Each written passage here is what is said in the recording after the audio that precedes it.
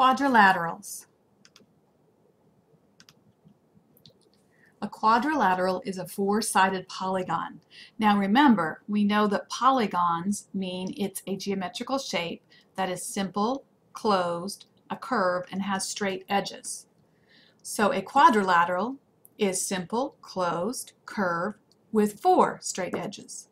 There are six types of quadrilaterals that are named, and many more which don't have a formal name. Name the six quadrilaterals shown above. Can you draw two other quadrilaterals? A square is a quadrilateral with congruent sides and angles. So we know a square is a polygon with four sides, and those sides are all exactly the same measure. Those angles, four angles, are also all the same measure. Squares are the goody two-shoes of the quadrilateral family. They're the most perfect they follow the most rules, they have the most properties, and this is the regular quadrilateral. A square is also a rectangle, a parallelogram, a rhombus, a kite, and a trapezoid. It is the very specific one of each of those. A rectangle is a quadrilateral with congruent angles. For a rectangle, we don't really put any limits on the sides. They can be any length.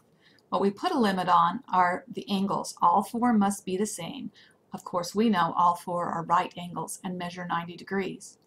A rectangle is also a parallelogram and a trapezoid, and sometimes it can be a square if you pick a very special triangle rectangle. A parallelogram is a quadrilateral with two pair of parallel sides. Here we don't particularly care about the angle measure, we only care that opposite sides are parallel to each other. So the top and bottom are parallel and the left and the right sides are parallel.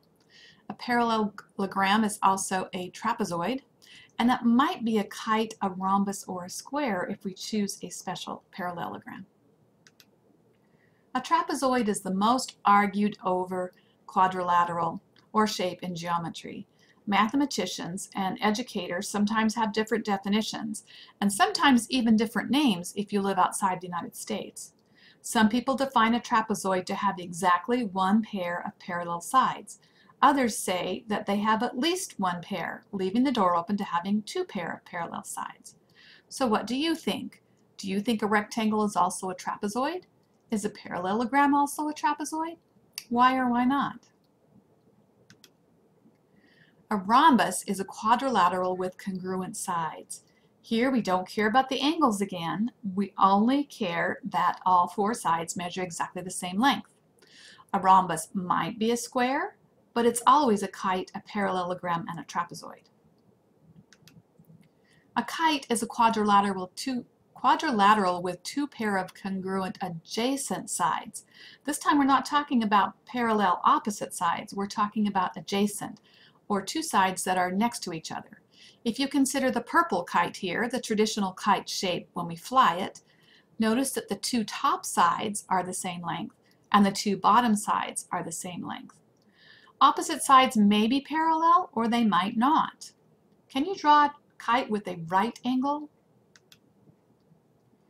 Name the quads above, giving as many possible names for each shape.